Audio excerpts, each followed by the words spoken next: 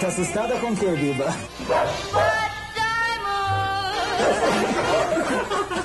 o cachorro já reprovou.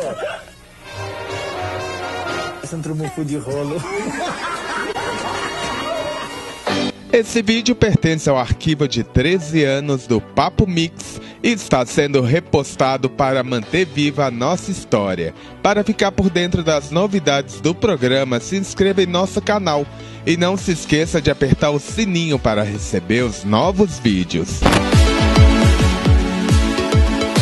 Só, só para finalizar esse assunto dessa, dessa reportagem das travestis, que é uma referência, hoje é, no YouTube tem milhões de acessos.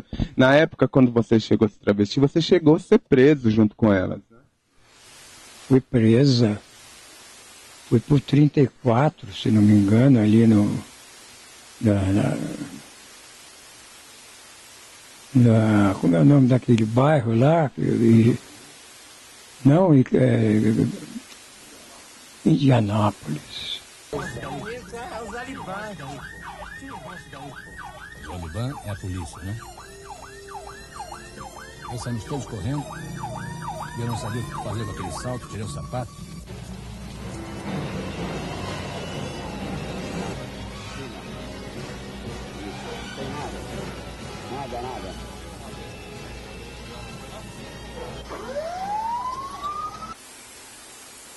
E ficamos lá num, num banco, sentadas todas, esperando ir para o xadrez. Aí uma colega falou assim, já vou resolver isso. Abriu a bolsa, tirou um frasco de perfume, quebrou na parede, se cortou toda. Foi aquela gritaria, aquele alvoroço. O delegado mandou todo mundo embora. Embora! Aí na rua ela falou, viu? É, é fácil. Mas uh, esse, esse, essa atitude que aconteceu uh, demonstra bem a necessidade da independência que eles tinham. Eles precisavam de serem independentes e, e não serem uh, vistos como um câncer da sociedade. Outro momento no programa seu, junto à nossa diversidade, foi quando uma matéria sobre a AIDS, onde era atribuído a AIDS aos homossexuais. Agora, ele não foi atingido aqui no Brasil por quê? Porque a doença foi introduzida inicialmente por homossexuais. Se tivesse havido, se houvesse esse relacionamento entre os homossexuais e as prostitutas, provavelmente já teria se disseminado a doença por ali também. Eu posso pegar AIDS com a minha parceira se essa parceira tiver tido uma relação sexual com um indivíduo que tenha transado com um homossexual? É isso? Claro. Você vai formando toda uma cadeia, mas. É. Uh, os primeiros que faleceram eram gays por consequência.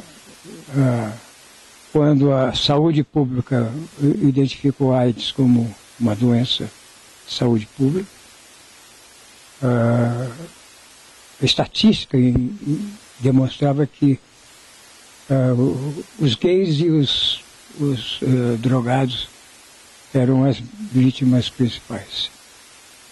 Aí depois a coisa se generalizou. Hoje é uma, continua sendo uma doença de saúde pública, mas sem esse contorno de, de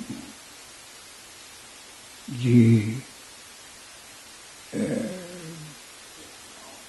é, é, é, essa, é, essa taxa né, de, de preconceituismo. Uh, os gays, os, os héteros, homens, mulheres, padres, freiras, os, são sujeitos a uma contaminação época tinha uma cartilha de uma empresa que falava que, que acusava os homossexuais por transmitir o HIV. Exatamente. Que era uma ignorância, né? Deixa eu ver uma coisa aqui. Ele assina o boletim, a cartilha dele. Eu não vou dar o seu nome por respeito a, até a sua ignorância preconceituosa. Mas você sabe que você fez esse boletim e você sabe que é de você que eu estou falando. Está aqui o início da sua cartilha que diz o AIDS é a doença do século. Estude bem essa cartilha sobre AIDS. Você sabe que eu estou falando com você. E você ouviu da, bo da boca de um médico responsável por esse sistema de, de tratamento aqui em São Paulo, quão preconceituoso, quão errado e quão discriminatório é a sua cartilha. Era um vírus que estava aí, transitando.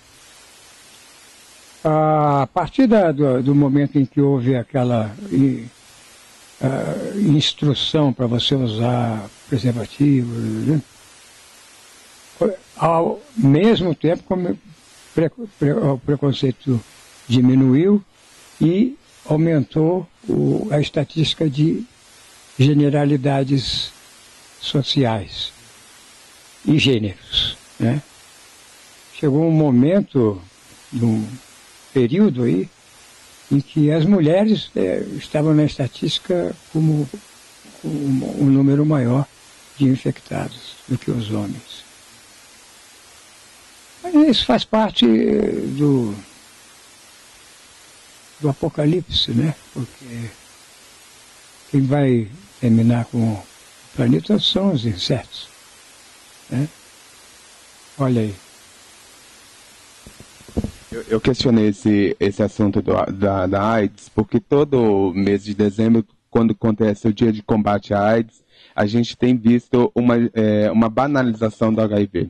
As pessoas que não pegaram essa época onde não tinha o tratamento, que as pessoas morriam, é, não, não, não sabe dessa problemática que era antigamente, e hoje a gente vê grupos que, que, que vão na contramão disso tudo. Eu vou te fazer uma pergunta que eu não quero que você se ofenda comigo, não, mas. Uhum. Você acha que você vai morrer?